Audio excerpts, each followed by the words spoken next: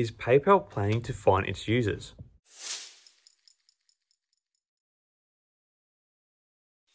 Hi everyone. I hope you're all doing really well. So, on Friday, after the market closed, PayPal was subjected to a document leak which sure to have ramifications on their stock, ticker symbol PYPL, when markets open on Monday. Basically, it was a memo that was scheduled to be released based on the dating of a letter, the 3rd of November, and it was to do with the company's acceptable use policy. Buried in this was a detail that PayPal would fine people who breached the policy by as much as $2,500 per an instance of a breach, what would you be doing if you were considered to breaching it? Well, according to the leaked document, you are independently responsible for complying with all applicable laws in all of your actions related to your use of PayPal services, regardless of the purpose of the use. The leaking of this update to the acceptable use policy has whipped up a storm on social media, with former founders of PayPal, David Marcus and Elon Musk, speaking out against the leaked document on Twitter. David Marcus posted on October 9 It's hard for me to openly criticize a company I used to love and gave so much to, but PayPal's new AUP goes against everything I believe in. A private company now gets to decide to take the money if you say something they disagree with. Insanity.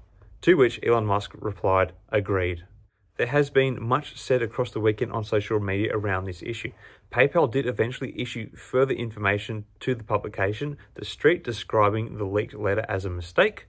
Just reading from the article, contacted by The Street, PayPal said it was an error an AUP acceptable use policy notice recently went out in error that included incorrect information, a PayPal spokesperson said in an emailed statement. PayPal is not fining people for misinformation, and the language was never intended to be inserted in our policy. Our teams are working to correct our policy pages.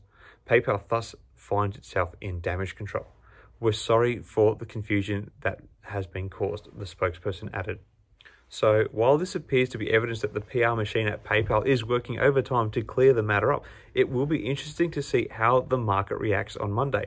Generally speaking, it has not been a great year for PayPal, having shed almost 54% year to date and as much as 65% if we stretch back the stock's progress over the past 12 months.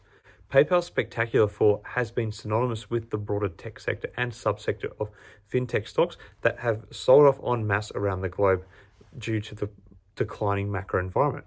While PayPal has backed away from the leaked memo, when you consider that they have attached part of their operations to the crypto scene and as a result, the emerging legal landscape around these entities, perhaps the intention of the memo may have been aimed at discouraging users from engaging in illegal activities that use these crypto mediums of exchange to help ensure that PayPal is meeting its legal obligations in preventing crimes such as money laundering and organized crime it's a pretty common thing for many big banking and finance entities to have to do this. But when a private company is paying or even considering giving itself the power to impose and collect fines from its user base, you have to ask yourself who are the real criminals in all this? Anyway, despite PayPal doing their best to alleviate the anxiety of users and investors that what was detailed in the memo is not going to occur, I feel they are sure to really feel a shake from the market during Monday's trade. Anyway, that's about all I'm going to cover in this video. Just a quick one. PayPal stock is definitely going to be one to watch on Monday. I have a feeling that this latest saga is going to be one that spells that they are in for a tough time over all of this. What are your thoughts on the whole saga? Is it going to spell more pain for the share price? Do you think that the memo was indeed an error from PayPal, or are we seeing a very public backtracking on what their intentions truly were, given the nature of their services? Let me know your thoughts in the comments below. Till next time, everyone, may the markets trade in your favour. Cheers.